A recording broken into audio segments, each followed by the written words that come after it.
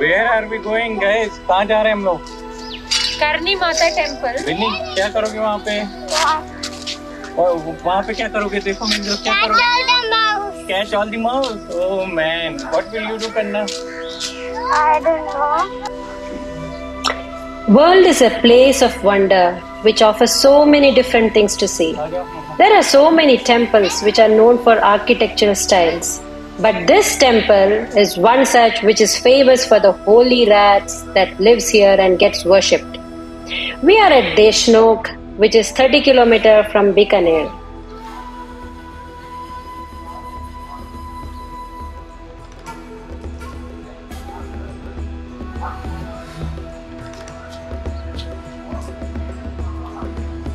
Guys, come here. See this lion. How is it? Cool, right? Yeah, I can see a rat. ये सब यार white से बने हैं क्या मार्बल से सब guys.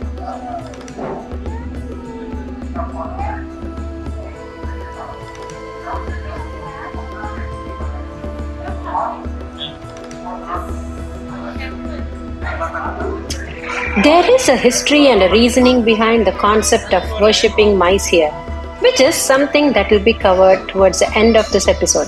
But in short, the holy rats and this temple is considered highly powerful that people do travel long distance to be able to visit here.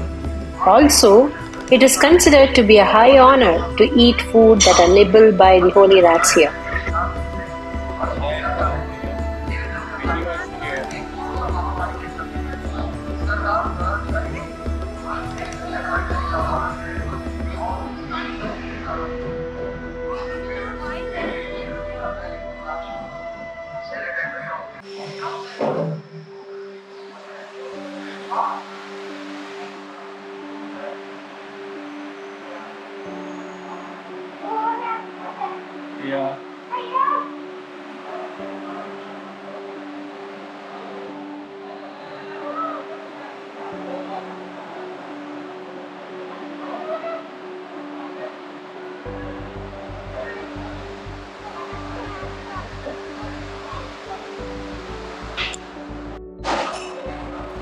What we found here were a bunch of black mice. However, it would have been a special blessing to see a white mouse around.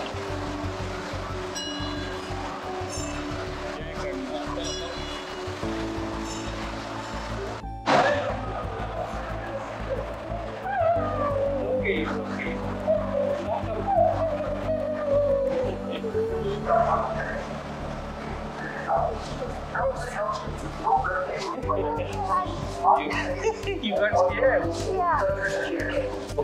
देखो, ये मंदिर है 600 साल प्राचीन, और गणी माता ने अपने मान्य रूप में जन्म लिया था, अवतार लिया था। उस समय पश्चिमी राजस्थान में अकाल के कुछ लोगों का मुख्य आजीविका का साधन कृषि और पशुपालन पर आधारित थे तो करणी माता का जन्म हुआ था 28 सितंबर तेरह सौ Okay. और ये करणी माता की कर्म भूमि है देशनोक ये जो है करणी माता की कर्म भूमि है सौ साल इस मंदिर के अंदर माता जी रहे थे। और एक सौ इक्यावन वर्ष छह माह दो दिन थे। बीकानेर करणी माता ने बसाया था जोधपुर करणी माता ने बसाया था। और ये जो चूहे हैं इनको यहाँ चूहा नहीं कहते इनको बोलते हैं काबा। का अर्थ होता है करणी माता के छोटे बच्चा यानी करणी माता के बालक, करणी माता के पुत्र। जब भी हम लोगों का डेथ होता है, तब हमारा नेक्स्ट रीब्रॉन इन काबों के रूप में होता है और धनराज यमराज के पास नहीं जाते हैं। इसके पीछे ये है कि करणी जी तो ब्रह्मचारिणी थे, देवी थे, शक्ति थे, दुर्गा का अवतार थे और अपनी छोटी बहन से अपने हस्बैंड की दूसरी शादी करवा दी थी। छोटी बहन के चार लड़के हुए चार लड़के हुए थे। छोटी बहन के चार लड़के हुए थे उसमें सबसे छोटे थे लाखन जी तो राजस्थान में दो जलाशय पहला पुष्कर दूसरा है कोलायत। कोलायत यहाँ से कार्तिक पूर्णिमा को मेला लगता था। तो कोलायत यहाँ से करीबन सेवेंटी किलोमीटर दूर है।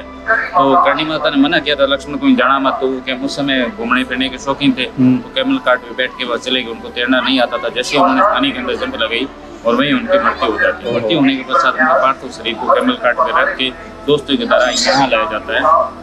तो करणी माता ने इस मंदिर के अंदर लगभग सौ साल तपस्या की थी और यहीं रहते थे, यहाँ पूरा परिवार यहीं रहता था। तो बच्चे को यहाँ लाया गया तो लक्ष्मण जी की माँ, यानी कर्णी जी की छोटी बहन गुलाब भाई, उन्होंने भी बहुत ज़्यादा रुद्र किया। अभी आपका बच्चा मर गया, आपने बीकानेर बसाए जोधपुर बसाए राजपूत लोगों को जन्मदान किया है, हज़ारों चमत्कार किए। आज अपने घर अपने पुत्र की मृत्यु से भी जन्मदान दिया। हनुमंथन का भी मैंने भी मान्य रूप में जन्म लिया, मैं भी शरीर त्यागूँगी कहीं अपने परिवार के लिए क्या किया। आपने बहुत ज़्यादा अटकाने लगे, बहुत ज़्यादा रुद्र करने लगे। नहीं माने तो करने माता अपने बच्चे को अपने हाथों में उठाने जहाँ मूर्ति लगी है, वहाँ बच्चे को रख दिया, दरवाज़ा बंद कर लिया, धर्मराज यमराज के पास गए। उनका भी मेरा बेटा जो हमारे पास है, धर्मराज यमराज ने कहा आप तो इस, इससे पहले कोई माँ अपने बेटे को लेने के लिए नहीं इसे आप ले जाएँगे, आपके तीन लड़के और हैं, तीन लड़कों में से किसी और लड़के की होगी। फिर आप इनको लेने के लिए एक सृष्टि का नियम क्या होगा? तब कंडीजन का भी आज के बाद मेरे बेटों का मेरे बेटे मेरे पास रहेंगे जहाँ मैं रहूँगी वहीं उनके लिए अलग दुनिया बना दूँगी। फिर कर्णी जी ने सिर्फ़ चूहे की आकृति को चुना सिर्फ़ चूहे की आकृति है इनको बोलते हैं काबा। जब भी हम लोग अभी जब भी हम लोगों का डेथ होता है तब हमारा नेक्स्ट रिब्रॉन इन काबू के रूप में होता है और इसी मंदिर में हम रहते हैं जैसा हमें कर्म कर्म करते हैं वैसे इस स्थान में जगह मिलती है। जैसे मैं हूँ अगर मेरी डेथ हो जाती है अगर मैंने जीवन काल में अच्छे कर्म किए तो माता जी की मूर्ति के पास रहूँगा अगर मैंने पूरे कर्म किया तो इसी मंदिर में, प्रांगण में रहूँगा। बाहर वाला काबा अंदर नहीं जाता, अंदर वाला काबा बाहर नहीं आता, अंदर नहीं जाता। ये सब सिस्टम चलता रहता है। जैसे कर्म करते हैं, कर्मानुसार स्वर्ग और नरक इसी मंदिर के अंदर है हमारे। और हमें, और सामान्यतः हम अपने घर में एक चूहे को पाल लेते हैं, खाना खिलाते हैं तो वो कितना फेट हो जाता है? यहाँ कोई फेट नहीं है, कोई बड़ा नहीं है, कोई डिज़ीज़ नहीं है, कोई बीमारी नहीं है। सूरत में फले फैला तो लोगों ना करें जो काबा पानी पीते हैं दूध खाते हैं उसको पीते हैं ठीक हो जाते हैं कोई डिज़ीज़ होती नहीं कुछ बीमारी नहीं होती कुछ महामारी नहीं होती कुछ भी नहीं होता। ये सब माता जी के परिवार। और व्हाइट काबा हमारे में से जो अच्छा कर्म करता है वो व्हाइट काबा बनता है उसे देखना अच्छा माना जाता है शुभ माना जाता है।